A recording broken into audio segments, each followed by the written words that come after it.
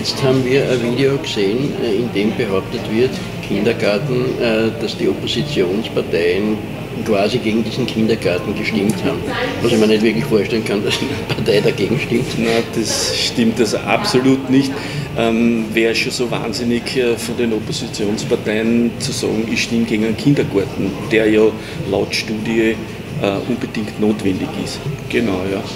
Also es ist uns jetzt aufgefallen, dass also immer mehr dringliche äh, von der ÖVP in den letzten Sitzungen kommen, wo so husch push irgendwas durchgepeitscht werden soll, ohne richtige Planung, ohne, ohne äh, Kostenvoranschläge einzuholen.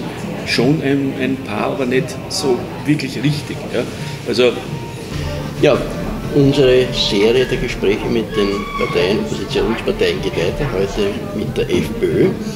Äh, vielleicht fangen wir mal an, so ein bisschen über die letzte Zeit, über das letzte Jahr mal nachzudenken oder über die Periode. Mhm. Ja, gerne. Also kurzen Worten, es war ein Gewirkst mit okay. der Gewirkst ÖVP und ihrer Absoluten. Es ist es so, dass äh, diese ganzen diese absolute Mehrheit natürlich dafür, dadurch äh, dazu führt, dass die äh, ganzen Ausschüsse und die ganzen Gemeinderatssitzungen von der ÖVP dominiert werden. Sie lehnen also sehr konstruktive Vorschläge der Opposition und auch von uns wurden eigentlich 80 Prozent niedergestimmt. Und wir haben zum Beispiel Forderungen aufgestellt wie äh, die Unter- oder Überführung äh, bei der Bahntrasse. Da stehen die Deutsch-Wagrammer bis heute, wie man das ungefähr so ausgerechnet, ja, fünf Stunden im Monat im Stau. Ähm, die Verhandlungen laufen laut dem Bürgermeister schon seit Jahren, es passiert aber nichts. Ja. Das ist ein Punkt. Dann, wir haben immer wieder darauf hingewiesen, auch, dass die Kassenärzte in Deutsch-Wagram ein Problem werden äh, der Bürgermeister hat zwei Wahlärzte angesiedelt.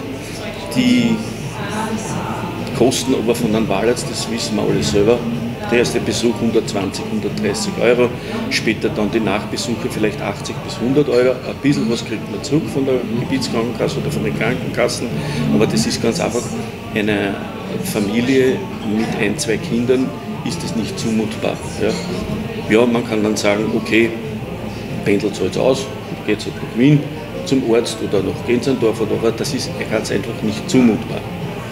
Ähm, der Stadtrat Nikitscher hat eben in einem unlängsten Interview und dann eben zugegeben, äh, in dieser Causa schon seit 2015 zu arbeiten. Leider passiert ist nichts. Ja.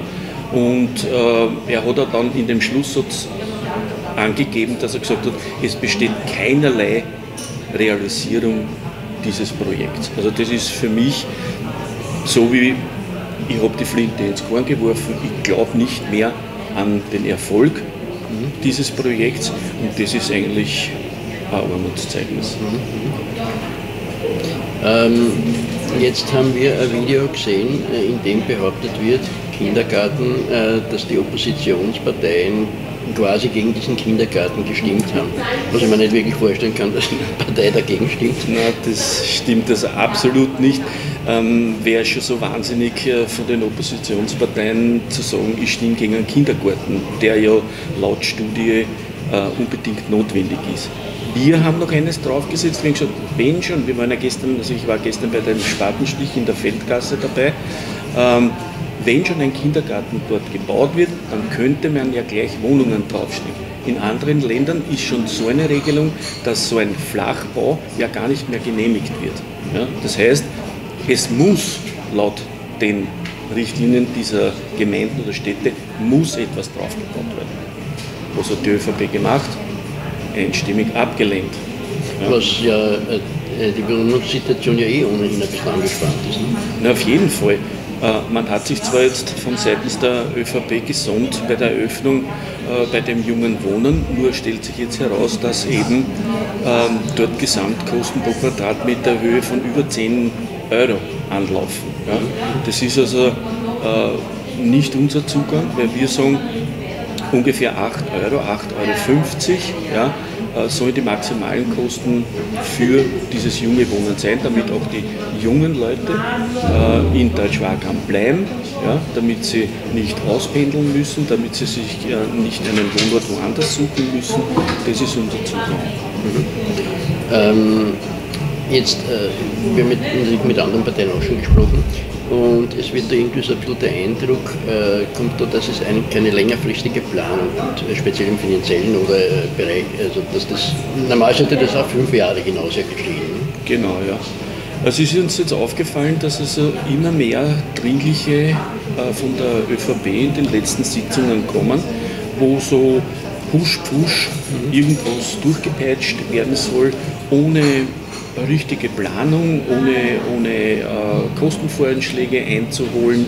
Schon ein, ein paar, aber nicht so wirklich richtig. Ja.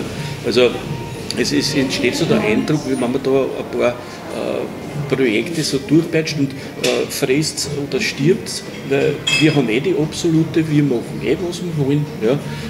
Der Wähler hat eben die äh, ÖVP bei der letzten Gemeinderatswahl eben mit dieser absoluten ausgestattet was meiner Meinung nach natürlich schlecht ist. Egal, ob das jetzt auf Bundesebene, auf Landesebene ist, äh, absolute Mehrheiten finde ich überhaupt schlecht. Ja. Und der Wähler hat natürlich jetzt am 26. die Gelegenheit, diesen Umstand zu ändern. Und da hoffen wir natürlich für die FPÖ, na, wem wundert, auf Stimmen zugewinne. Uns bläst natürlich bundespolitisch halt ein rauer Wind entgegen der halt auch vielleicht auf die Gemeindeebene durchschlagen wird, was wir nicht hoffen. Wir haben gute Arbeit geleistet und ja. Wobei natürlich äh, Gemeinde- oder Kommunalwahlen ja doch schon ein bisschen auch andere Dinge sind. Ich meine, es beeinflusst sicherlich auch, aber ja. ich glaube, es ist einfach doch schon ein bisschen. Ja. Ich glaube, der Wähler kann jetzt mittlerweile schon ein bisschen ja, unterscheiden. glaube ich auch. Also ich muss sagen, ich bin ja kein Ein-Mann-Team. Ich mhm. habe sehr gute äh, Leute hinter mir. Das ist äh, mein, mein Stellvertreter Matthias Hittinger, dann kommt die Frau Gabriele Bauer, die Frau Gabriele Benes, der Rudolf Burisch und die Christine Glinserer. Und weil alle so auf der Frauenquote herumreiten, ja, wir haben unter den ersten sechs Kandidaten drei Frauen. Und das sind keine Frauen, die jetzt irgendwie Quotenfrauen sind, aber sie sind tüchtig, ja, leisten hervorragende Arbeit und ich bin ganz, ganz stolz auf das Team. Und äh, wie gesagt, wir hoffen, dass wir eben bei der Wahl realisieren können und dass uns der Wähler das Vertrauen schenkt. Unsere Hauptforderungen sind eben ähm, mehr direkte Demokratie auch in Deutsch-Wagram bei wichtigen Sachen und äh, dann Stopp der Bodenversiegelung in Form von ähm, äh, keine Umwidmung mehr von Grünflächen, landwirtschaftlichen Flächen im Bauland. Ja.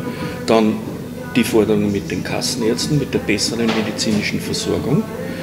Da gehört auch eine Aufwertung und Verbesserung natürlich des, der Tagesklinik in Gensendorf dazu, weil es kann nicht ganz einfach sein, wenn ich nach 18 Uhr einen medizinischen Notfall habe, dass ich dort hinfahre und es ist keiner dort, mhm. kein Arzt. Mhm. Ja? Und die schicken die Leute dann wieder nach Misselbach weiter, was dann wieder einen weiteren Weg von 15 bis 20 Minuten bedeutet, was oft lebensbedrohend sein kann. Das darf man nicht vergessen. Genau. Ja?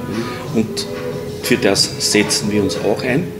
Diese Resolution, die ich äh, im Gemeinderat eingebracht habe, die ist einstimmig angenommen worden obwohl im Landtag die ÖVP und die äh, SPÖ dagegen gestimmt haben. Mhm. also das war sehr bemerkenswert. Ja, und dann mit uns gäbe es, gäbe es auch wieder einen Status. Wir haben da schon Kontakte äh, geknüpft und das Ist-Mobil, was man von den Benutzern hört, ist ineffizient, mit sehr hohen Wartezeiten verbunden und mit hohen Kosten man kann sie mit einem hohen bürokratischen Aufwand, den man sich dann zwar auf den Gemeindeamt zurückholen kann, aber das ist irrsinnig mühsam. Wieder mit Weg verbunden genau. Zeit. Und mit, mit Weg und Zeit mhm. verbunden, genau. Äh, doch schon einige Projekte. Ja. Gibt es etwas, was so die oberste Priorität hat? Ja, also das ist sicher die medizinische Versorgung in Deutschwacker. Und das ist eines unserer Hauptthemen. Ja, wir haben wirklich sehr viel in kurzer Zeit abgearbeitet, bemerkenswert. Ich möchte nur kurz äh, was einflechten. Und ja. zwar, da habe ich noch einen Handschuh von der äh, ÖVP, von der letzten Gemeinderatswahl, ein Wahlgeschenk herausgefunden. Ähm, da steht, die beste Arbeit ist die Zusammenarbeit. Ja? Also von der war leider in den letzten fünf Jahren nichts zu sehen. Ja?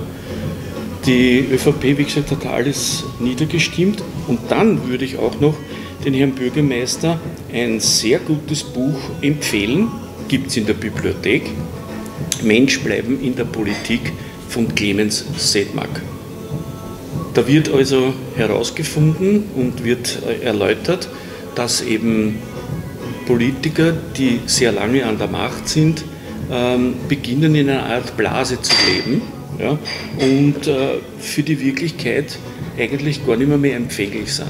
Ja. Das ist auch anhand von dem ähm, Experiment, ein Experiment in Stanford gegeben, da wurden die Rollen zwischen Studenten, Wärtern und Häftlingen vertauscht und diese haben dann schon innerhalb von ein paar Tagen die Rollen äh, verinnerlicht ja, und haben so die, den, den Charakter der handelnden Personen äh, komplett verändert. Also der Student ist zum Häftling geworden und der Wärter zum Studenten und so weiter. Also das ist wirklich sehr bemerkenswert.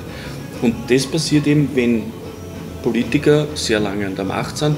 Und wie gesagt, ich sage immer, der Herr Bürgermeister Quirkst äh, ist der Kim Il-jung von Deutsch-Wahlkram.